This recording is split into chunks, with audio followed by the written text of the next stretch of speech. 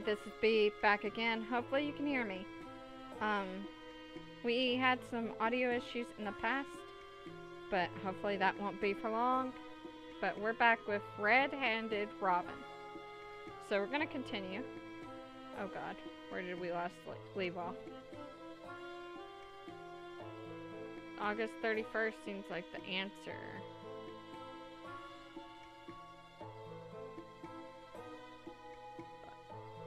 1850. 1904. We're gonna start here, I think. Oh, shoot. I don't forgot what the answer.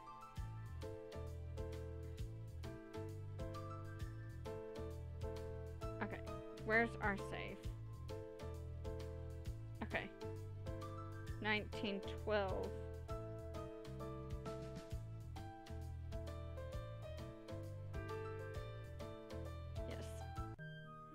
As for drinking, I got that covered, so we were going over the memory of him. He pulled a flask from his jacket and showed me. I faked a scandalous gasp. Shay, how terrible of you, if Sullivan knew. I take it you don't want any then? He made he made to stow the flask away. Let let's not be hasty. How about a deal? I think I know where this is going. You don't tell Sullivan where you found me, and I won't tell him you're drinking on the job. I held out my hand for the flask. How's that? He rolled his eyes and handed it over. I took a swig and passed it back. There, the deal is sealed. Now give me your hands. What? Why? You said you don't know how to dance, right? I'll show you. Right now? Do you have something better to do? I don't want to go back to the party, and you rudely interrupted my other plans. He stiffly, his, he stiffly held out his arm, and I guided them into position. Here, it starts like this. I walked him through the some of the steps. He's more clumsy than I thought he'd be. I can't resist giving him a hard time. You're not very good at this, I told you. I thought he might quit, but surprisingly, he continued to try. Faint music and chatter echoed from the ballroom as the two of us danced in the darkened hallway. It felt a bit surreal, as though it was some strange dream. He didn't seem to mind as I let myself fall a little further into his arms. Shay? A daring mood came over me. Can I tell you a secret? Is it that you're a terrible dancer? Because I've already noticed. You're so rude. that wasn't it? Go on then. I changed my mind. You'll probably just tattle on me to Sullivan. I won't. You can tell me. Promise? What are we, school children? Have it your way. I guess you don't want to know my secret after all. He gave an exasperated sigh. You're such a tease. Fine, I promise. Cross my heart and everything. Goosebumps went up my arms. This was something I had kept to myself for years. Why was I so desperate for him to know? I want to tell you my real name. Ooh, your real name? Am I interrupting something? Shay quickly let go of me and turned to the man who spoke. Nothing important. Robin insisted on showing me how to dance. Out here, alone in the hallway. Dominic gave us both a knowing grin. I had seen him bef around before, but never spoken to him directly. Something about him always seemed off. Now thoroughly on edge, Shay didn't immediately give an answer. I decided to try and smooth things over. My apologies. I had a little bit too much to drink, and the ballroom was quite overwhelming. Dominic smirked. Don't worry, little bird. I'm not with Sullivan. I have no obligation to report the things you two might be doing in the dark. My brother here, on the other hand. Brother? Is there something you need from me, Dom? Not at this exact moment, but I do need to speak with you later. Why don't you finish your lesson first? I'll be waiting.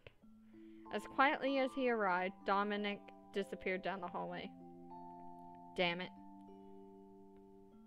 Now I have to explain. All his playfulness was gone, replaced by the cold version of himself he showed to everyone else. He said he won't tell Sullivan.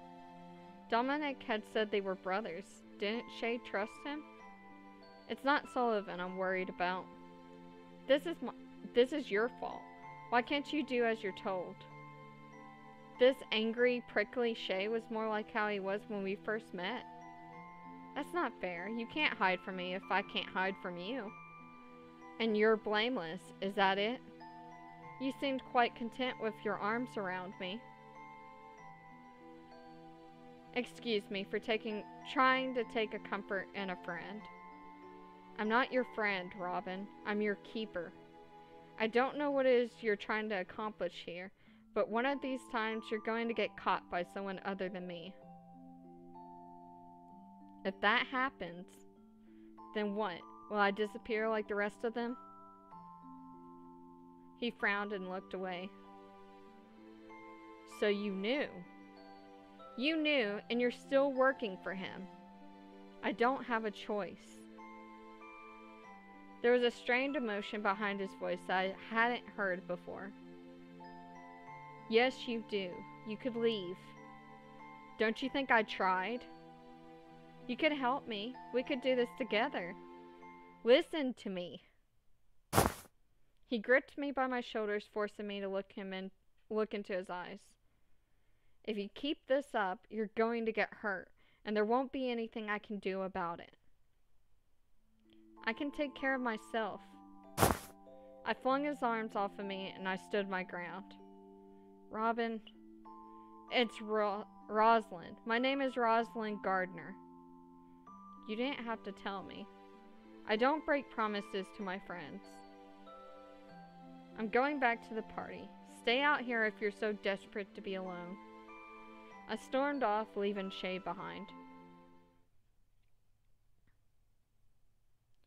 When I came to, I found myself slouched over on the sofa in dimly lit cabin. I quickly realized it was my room, but it wasn't in the same state I left it. Drawers and cabinets stood open, and the things from our luggage had been thrown about hazard, haphazardly. There was no doubt about it. Someone had been looking for the case. Ah, you're awake. Fletcher, who was standing next to the next near the door, approached me when he noticed I was conscious. What happened? Where are Jay and Wren?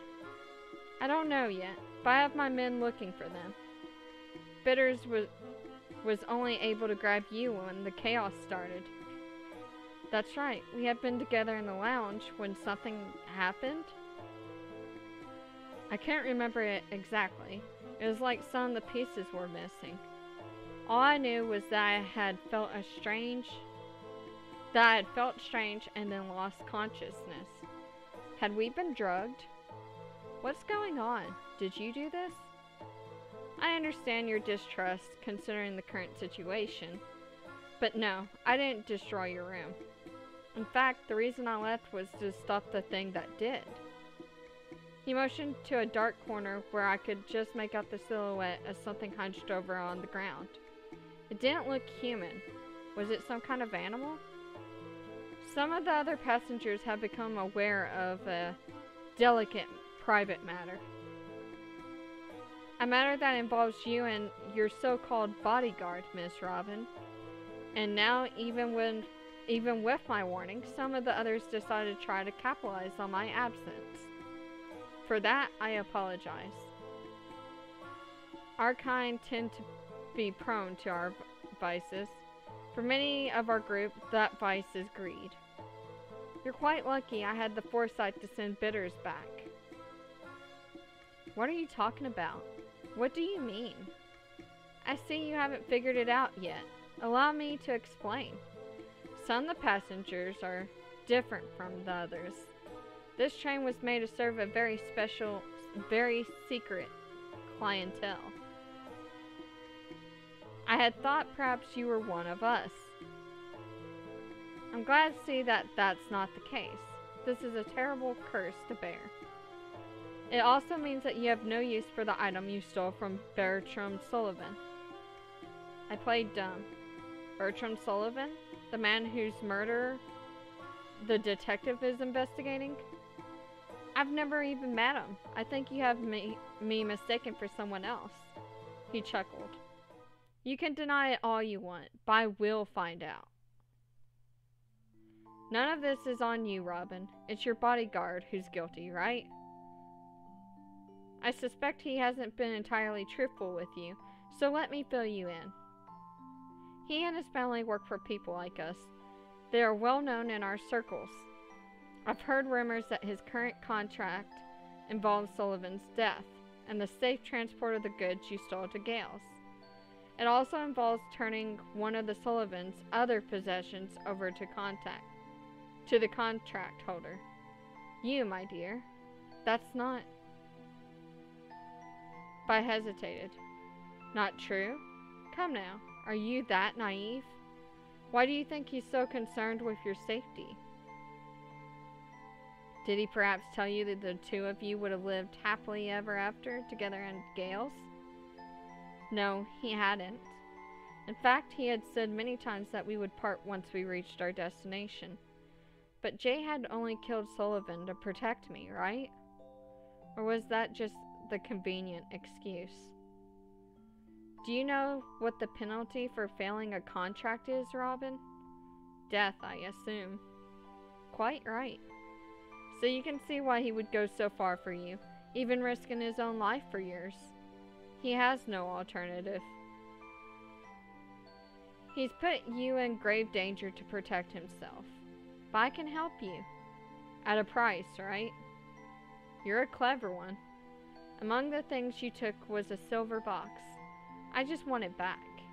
I thought I remembered something like that he described, but if you have any idea where it is, please tell me. Did Fletcher think I was stupid? I won't be manipulated so easily. Jay wasn't aware of whatever was going on here. I was sure of it. He didn't even want to bring the case of jewels with us. Yet Fletcher expected me to believe that that was his entire goal. Not to mention, he would never agree to trade me over like I was some object. There's no way I misread his feelings. I trust him with my life.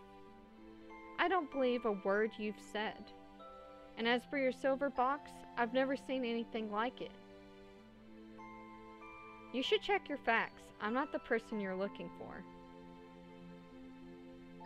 So you want to be difficult? Fine. He reached into his pocket and drew out something silver. It was small and thin, with an engraved modify of a bird of some sort. A pocket watch? You're gonna regret this, Robin. part three. We're getting really far in this game.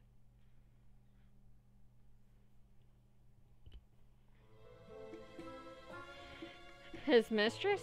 You want me to spy on his mistress? Dominic rolled his eyes. Think of it as a protect as protecting her then. Whatever makes you feel better. Just keep her on a short leash and report what she does back to Sullivan. Shay was incredulous. Was this was that all his mother thought he was good for? So I'm to be a babysitter then. What? Were all the teenage girls in the capital busy? Dominic sighed impatiently. After that stunt you pulled last year, you should be thanking your lucky stars that our mother has found any use for you at all. She had half a mind to disown you, you know. But I talked her out of that. Seemed to me that was what you were after in the first place. She reflectively rubbed reflexively rubbed his wrist. It's a moment of weakness. It won't happen again. Dominic shrugged his shoulders. Doesn't matter to me as long as you finish the job next time. I'm tired of cleaning up your half-assed messes. You want to know the reason I caught on? It was hearing you got rid of that damned cat of yours. What, didn't trust me to take care of your little princess when you were gone? Heh, I take that as a no. Anyway, Sullivan is paying good money for you. Just do whatever he says. Shay knew he should keep his thoughts to himself, but his temper was fraying. He mumbled angrily. Do you take me for a prostitute? At once, Dominic had him by the collar. He slammed Shay into the hallway wall, rattling his glasses askew. Sullivan is a very important client. He can make you clean up his dog shit for all I care. A prostitute? That, baby brother, is exactly what I take you for. And if Sullivan decides that whore doesn't satisfy him, well, I expect you to jump into the old man's bed yourself. Ooh. Everything that you are, you are is due to your, our mother's generosity, Shay. She owns you. The least you can offer is your obedience. Do I make myself clear? Good. Aw, Shay.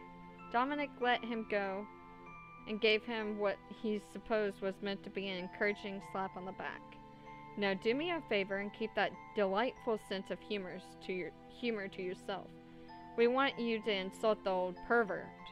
Dominic straightened his back his jacket, then paused briefly. He turned back to Shay and stared directly in the eyes. I probably shouldn't be telling you this. It's more help than you deserve, but this is a test, Shay. If you prove to Mother that she can trust you, you'll be welcomed back with open arms.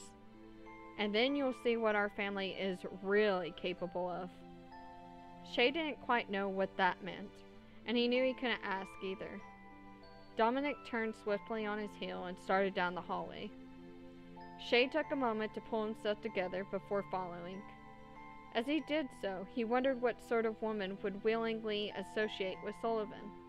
Shay decided he already hated her. At a quaint cafe in the capital's market district, Shay sat outside, staring at the entrance. His legs bounced his leg bounced impatiently as he tried to ignore the concerned look and whispers of other patrons. He's been there for a while now. Should we tell someone? Do you think he's some kind of creep? He looks scary. I swear to God, Robin, if I had to spend my morning chasing you all over town again. But she did return to the dining area eventually. When she saw him sitting at the table, she was all pleasantries. Afternoon, Shay. What brings you here? He wasn't in the mood for her games. Decided against jumping out the window, did you? What are, whatever are you talking about? I was simply making sure I was presentable. It's rather rude to comment on a woman's bathroom habits, you know. It's also rude to slip your escort and disappear down the busy street, but here we are. I hardly think I can.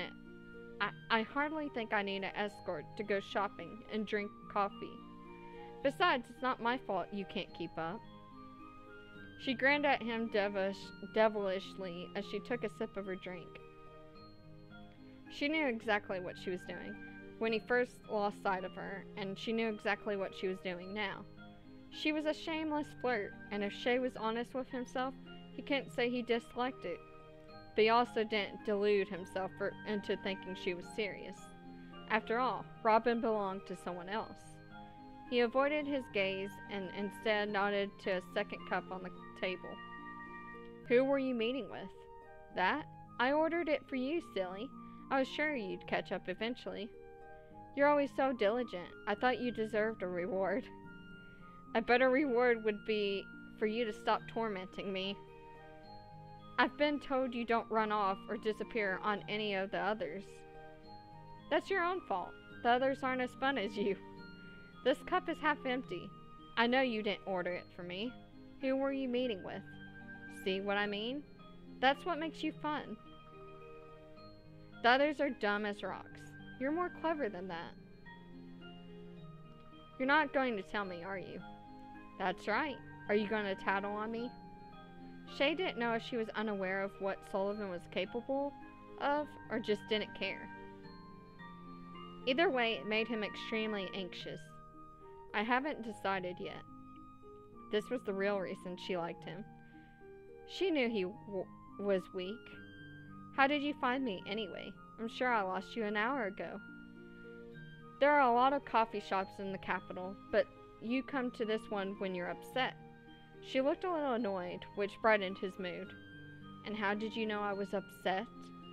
No more hints. If you get any better at deceiving me, I might not be able to find you next time. She pouted and continued to sip her coffee. Shay couldn't understand her. What in the world world was she doing with Sullivan? Did she need his money that badly? Surely there was there were plenty of other rich men who would treat her with care she deserved. Why ha why had she chosen such a dangerous one? What are you staring at? Finally realized you're madly in love with me? He felt a pang in his chest. She finds it amusing to toy with me. I can't even say I like you very much, let alone love you. She laughed, making his heart ache all the more. So, Shay, tell me something about yourself. If you make it interesting enough, I'll give you something in return. He had to admit he was intrigued by that. She looked at him expectantly over her coffee cup. What did she want him to say? The only thing that came to mind was things he was ashamed to tell her. You just you just come to hate me. Need some help? Then how about where's your favorite place in the world? The place you would go to if you were upset. Oops. Now that he thought about, he did have such a place. I ran away once, a long time ago when I was a kid.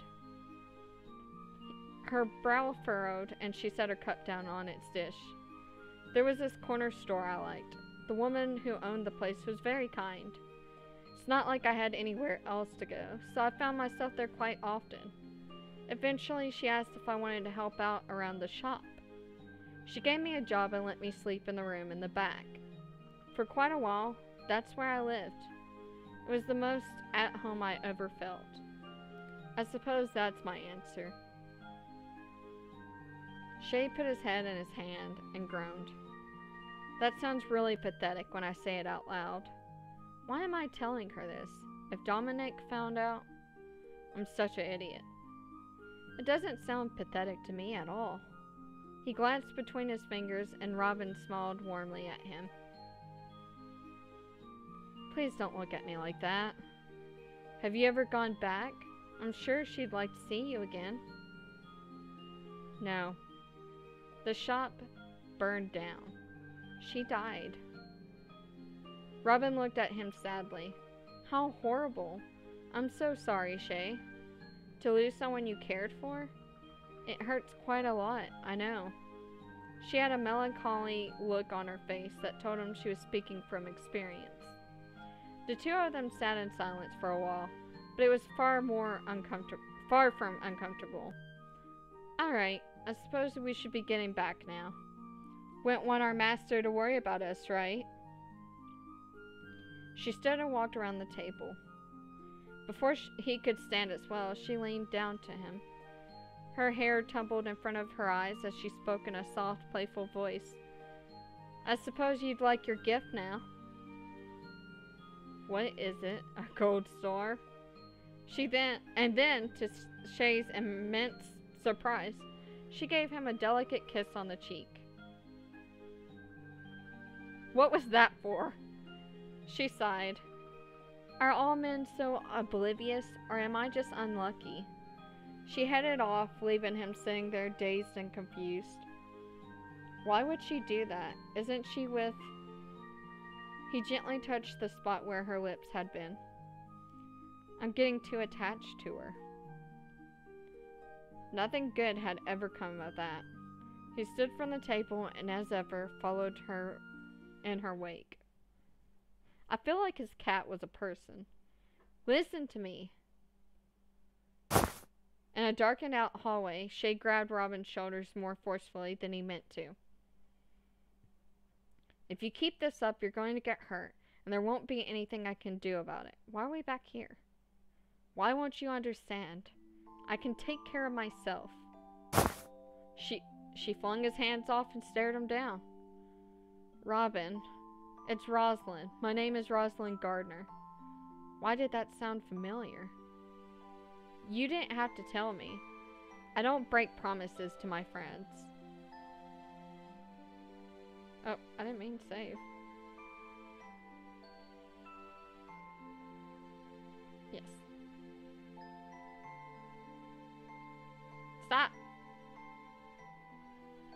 I'm going back to the party. Stay out here if you're so desperate to be alone. She angrily stormed away, and he could feel his own temper flaring as well. If you want to act like a spoiled brat, then fine. We'll see how long you last on your own. I'm done with this. He needed to meet Dom he needed to meet with Dominic anyway. I'll tell him I'm through. If I have to speak to Mother myself, then so be it. Dominic hadn't said where he would be, but Shay knew that didn't matter. He would find Shay when he felt like it, and as had always been the case, it was only a matter of time. He left the Sullivans' estate and wandered aimlessly around town. Shay walked half the evening away and eventually ended up at the cafe Robin liked. Why did I come here, of all places? I'm such an idiot. He ordered a coffee and sat at a table in the corner.